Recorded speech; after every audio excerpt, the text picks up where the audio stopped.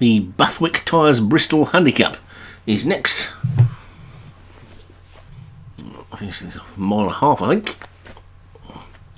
Indeed it is, it's a class 5 0 to 180, no, not to 180, 0 to just 80 handicap at the top roaring 40s for Martin Leadham, National Guard for Obi-Wan, Country Craft Toss for James Shea, Snow Martin for Craig Beckwith, Marie Antoinette, Kevin Minahan, The Age of the Drunks for Joshua Sutherland, Morse, Paul Rhodes, Idlevice for Padraig Hogan, Cathedra Kensington for Daniel French, and Gamalati Option for Steve C. So, 10 of them then on a bit of a turn, and away they go. And with the first to show, Marie Antoinette pokes ahead into the lead with Age of the Drunks on the outside.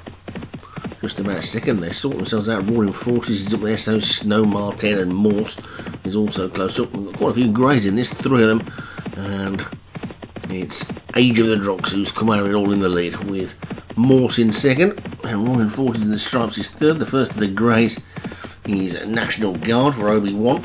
Closest to us in the green jacket is Country Craft Toss. With on his inside in the green, Kevin Minahan's Marie Antoinette, the red jacket of Gamalati Opinion.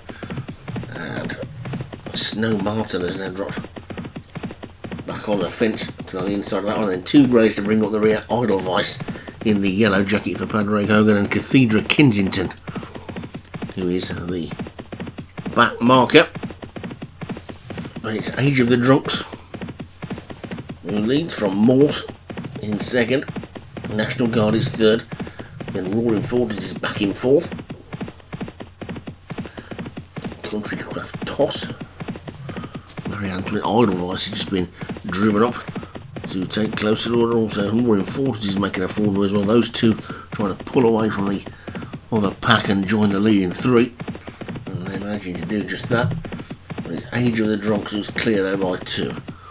Morse in second, then Roaring Forties is now getting into third, then National Guard and Idlevice, then after that one, Snow Martin's trying to run on. Cathedra Kensington His next. Marie Antoinette got work to do. Gamalati Opinion, he hasn't moved on that one yet. And Countrycraft Tossed He's now last and wide on the track. They're inside the final three and a half furlongs. And Age of the Drunks is in the lead from Roaring Forties in second. National Guard third, Snow Martin and Mortar next. Also running on really well now. Idlevice trying to get going as well. It's Cathedra Kensington. This one's wide open, but they've got to get to Age of the Drunks as they pass the two.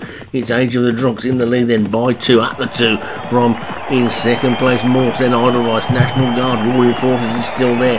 The Cathedral, Kensington and, and Snow Martin are trying to run on. They hit the furlong pole and it's still Age of the Drunks, but only by about a length and a half in now to Idlevice and Morse. Then comes Roaring Forties, National Guard inside the final quarter furlong, and now it's Idlevice who hits the front. Morse is trying to challenge. Idlevice takes it on the line.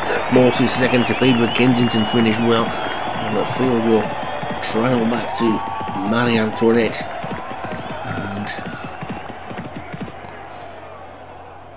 Idlevice for Padraig Hogan has taken it from Morse.